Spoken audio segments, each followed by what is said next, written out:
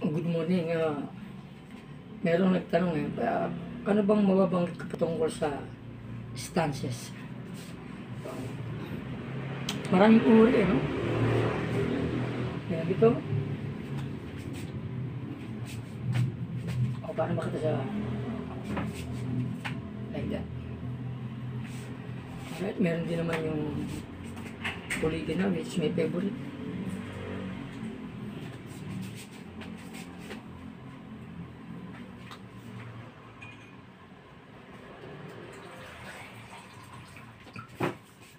Pero, pag ikaw ay nasa running gun battle o let's say home invasion, wala na yung stances na yan.